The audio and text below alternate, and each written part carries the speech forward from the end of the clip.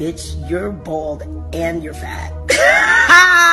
you're bald headed and you're fat now too.